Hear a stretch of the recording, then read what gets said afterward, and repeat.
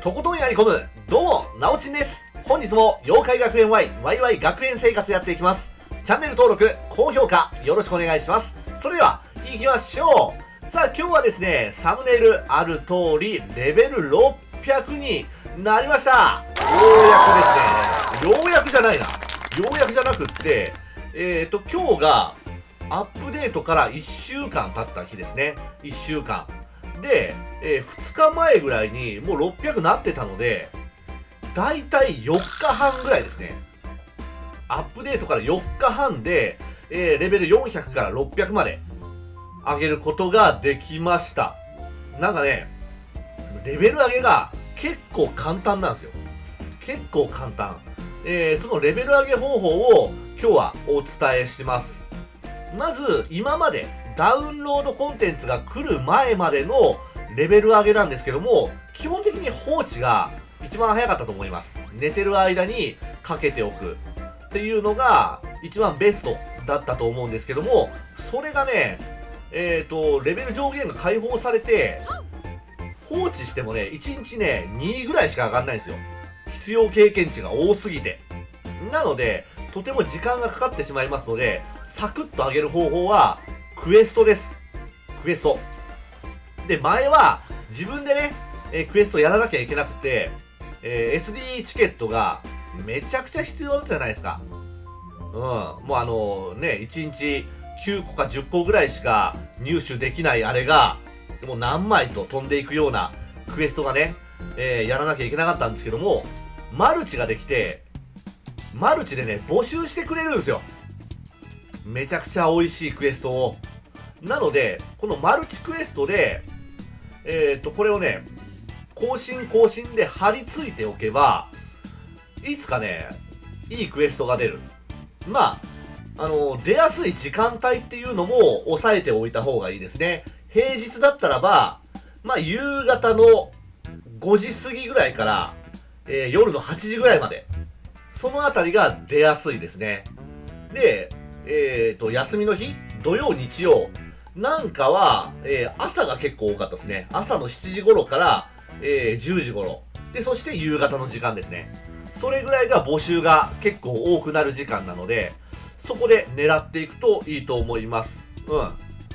うん。検索をね、更新していくと、パーティーが出てきますので、そこでね、サクッと入ってしまえばいいです。まあ、ただ、えー、競争率は高いので、さっと入らないと漏れてしまうので、まあ、そこは注意ですね。で、美味しいクエストですよ。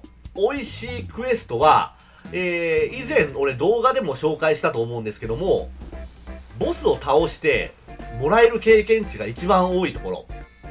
天よりおりし黒の巨人ですね。天よりおりし黒の巨人を、えー、募集してあったらば入るべきです。で、しかも、えー、超と極。極がね、新しく出るようになったんですよ。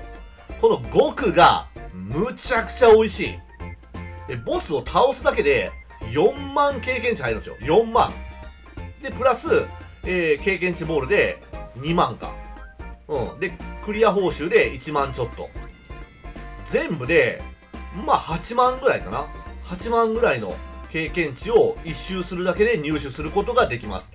それをね、ぐるぐるぐるぐるやってると、すぐレベルなんて上がりますし、まあ、レベル上げを目的としてる人だったらば、10周とか回ってくれるので、まあ、一緒に行くとお得な感じになりますよ。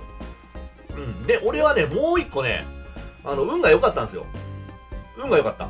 あのー、なんだろう。以前ね、装備品で、俺これ買ってたんですよ。えっ、ー、とね、これですね。えー、バエルミサンガと集中リングです。えー、これね、レベルいくつまでも使えると思って間違ってね、買っちゃったんですよ。なレベル100までだったのかって、すごくね、損した気分だったんですけども、えっ、ー、と、アップデート同時に、えっ、ー、と、お詫びのね、えー、パックが送られてきて、いいアイテムが入ってました。えー、それがこれですね。チョコボンボンとバエルまんじゅう。もうとにかくこのチョコボンボンがよくって、えっ、とね、これを食べると、100回戦うまで、経験値とお金が倍になるんですよ。倍。100回戦うまで。なので俺このチョコボンボン食べて、えー、極の天よりおりし、黒の巨人か。あれを回ってました。もう一周するだけ、一回倒すだけで、どんぐらいだ ?12 万ぐらい経験値入るんですよ。12万ぐらい。なので、えーとね、高速でレベルを上げることができました。おそらくね、なんだろう、えー、うまいこと黒の巨人のクエストに入っていければ、1日でね、レベル400から600までいけると思います。これ間違いないですよ。めちゃくちゃ美味しかった。で、レベル600まで上がりますと、これぐらいのステータスになります。なかなか上がったよね。HP が4921。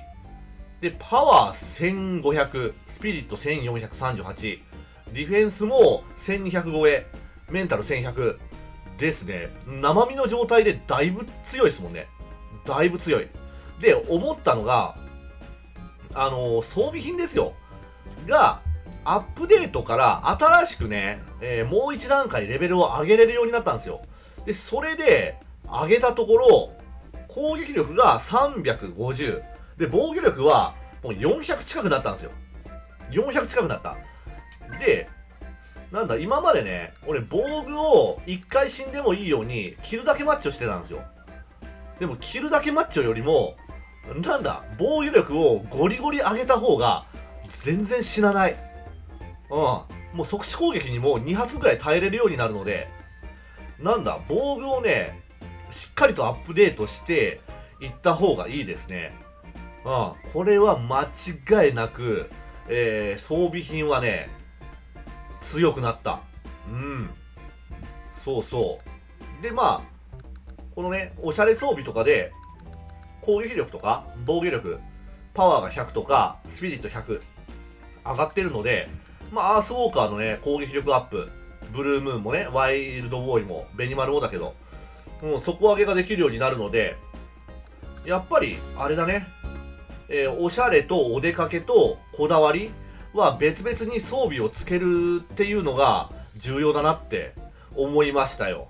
うん、今更ながら。まあ、前はね、結構ゴリ押しが効いてたんですけども、今はちょっとゴリ押し効かないので、ちゃんとね、防御力を上げていった方がいいっすね。